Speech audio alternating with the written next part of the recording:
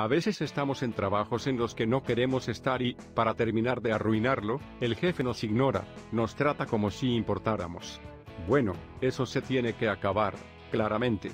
Cuando dejes de ser el empleado y empieces a ser el jefe, ¿quieres saber cómo lograr ser el mejor de todos y llevar tu proyecto a la grandeza? Pues hoy te traemos todo lo que tienes que saber sobre cómo ser buen jefe. Quédate hasta el final para entender lo más importante. Tipos de liderazgo empresarial.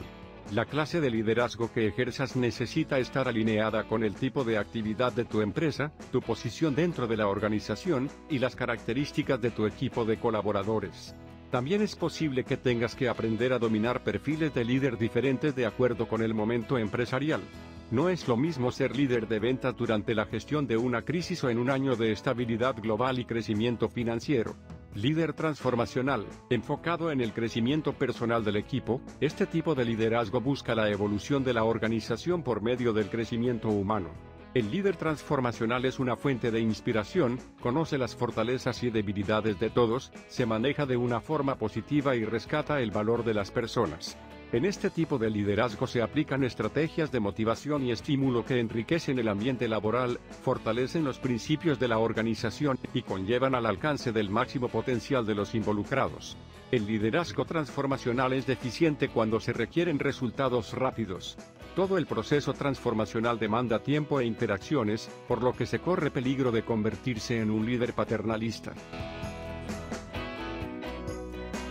Líder democrático, ejerce el liderazgo participativo, en donde cada miembro del equipo puede, y debe dar sus contribuciones para la toma de decisiones. El líder democrático motiva al grupo, y se esfuerza en conocer todos los puntos de vista antes de tomar una decisión final. El diálogo es la principal herramienta de comunicación en este tipo de liderazgo. Esto aumenta el compromiso de los funcionarios y favorece las capacidades creativas y de producción en la empresa. No obstante, el liderazgo democrático demora en alcanzar sus objetivos, pues invierte mucho tiempo considerando las opiniones de todos antes de tomar decisiones. Líder transaccional, utiliza el sistema de estímulo y recompensa para favorecer la eficiencia de los colaboradores. Las transacciones entre los líderes y sus subordinados se establecen por medio de un sistema de bonificaciones o premios que mantiene la motivación del equipo.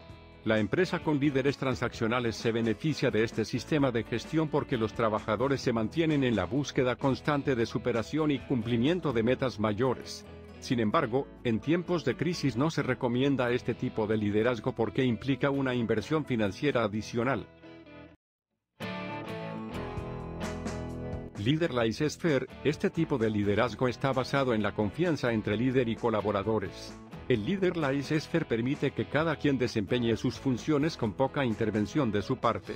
La autonomía y sensación de libertad hace que los empleados se sientan más capaces y motivados.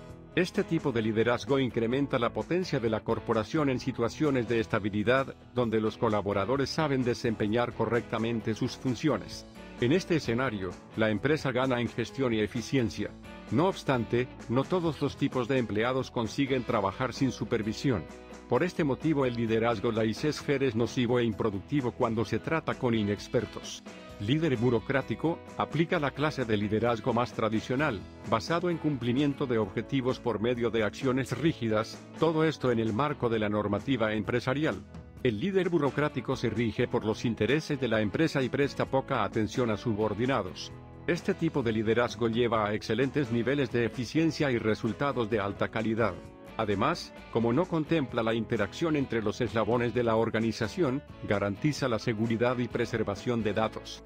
Sin embargo, este tipo de liderazgo genera ambientes de trabajo desagradables, los colaboradores están despersonalizados dentro de la organización, y la rigidez de los procesos elimina cualquier posibilidad de innovación creativa. Líder autoritario, ejerce el liderazgo autocrático y concentra todo el poder en sí mismo. El líder autoritario no escucha opiniones ajenas, le da excesivo valor a las relaciones de jerarquía, y centra la comunicación en el formato vertical descendente. Por todo esto, es el tipo de liderazgo necesario en situaciones críticas donde se requiere una toma de decisión rápida, sin obstáculos y en las que todas las opciones acarrean consecuencias complejas. Este estilo autoritario es cada vez menos utilizado pues no goza de popularidad entre los empleados, perjudica el ambiente laboral y no favorece la productividad. Ahora que conoces los tipos de liderazgo que puedes adoptar en tu organización, el siguiente paso es aprender las acciones prácticas que pueden transformarte en un líder de éxito. Este es un buen momento para recordarte que si no te has suscrito a este canal, aproveches ahora para hacerlo y, claro, cliquea en la campanita para que no te pierdas todo este conocimiento sobre ganar dinero, finanzas, negocios y más. 12 consejos para ser un buen líder. Crea un clima de confianza y colaboración, y dentro de tu empresa siguiendo estos tres consejos, estructura el trabajo como desafío de aprendizaje y no de ejecución. Muchas veces tus colaboradores conocen el objetivo pero no saben cómo alcanzarlo. Delega funciones y ofrece un ambiente donde todos contribuyan y se comuniquen. Reconoce tus propias fallas. Esto genera autoconfianza en los demás miembros del grupo y transmite seguridad para comunicar errores, dudas y contribuciones. Haz preguntas persuasivas. Si muestras curiosidad hacia tus compañeros crearás una necesidad real de comunicación. Motiva al equipo para alcanzar objetivos siguiendo estos tres consejos, promueve la excelencia en todas las tareas.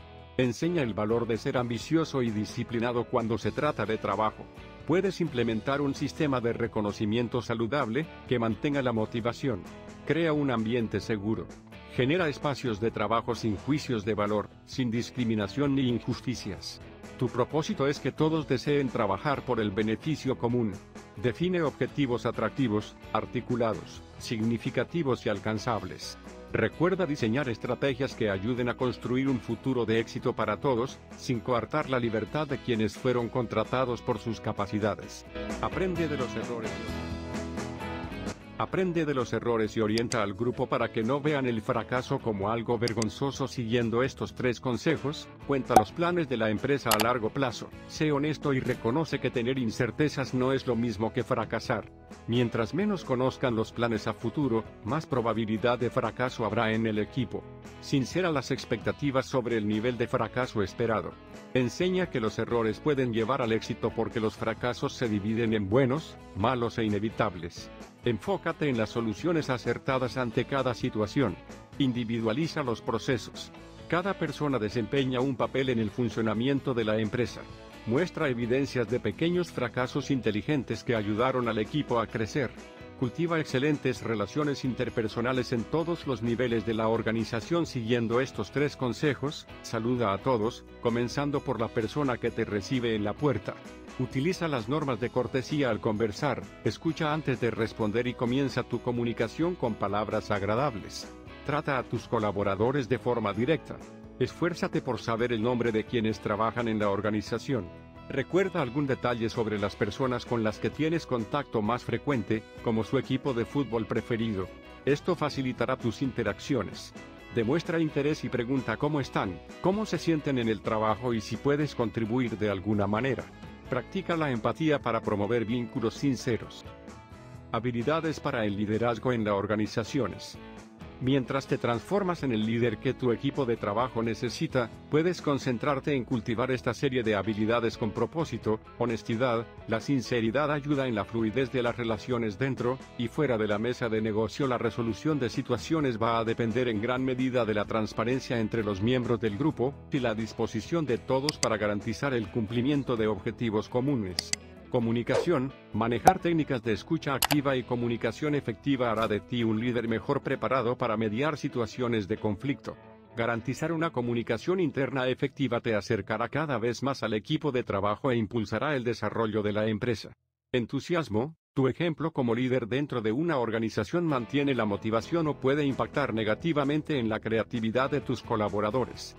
Ten presente que de tu actitud depende que la atmósfera de trabajo sea tóxica o que predomine la sensación de bienestar. Planificación, las medidas que aplicas en la gestión de proyectos durante el ejercicio de tus funciones son la tarjeta de presentación de tu trabajo. Organizar tus acciones con disciplina, a corto y largo plazo, es una demostración de madurez como gestor de personas y recursos. Durante todo este proceso de autoconocimiento y transformación, uno de los aspectos fundamentales es que decidas el tipo de líder que quieres ser en función de las necesidades de tu empresa. ¿Conoces las clases de liderazgo empresarial? Listo, no más líderes injustos. Tú serás de los primeros en volverse grande en liderar ahora. Así que, ¿qué esperas para suscribirte y darle pulgar arriba, y también activar la campanita? Así nos seguirás de cerca para conocer más pequeñas pero importantes claves para el dinero. Nos encantaría saber qué es lo próximo que quieres aprender, así que deja tu recomendación abajo en la cajita de comentarios. Muchas gracias por haber llegado hasta aquí. Espero volver a verlos en un nuevo video.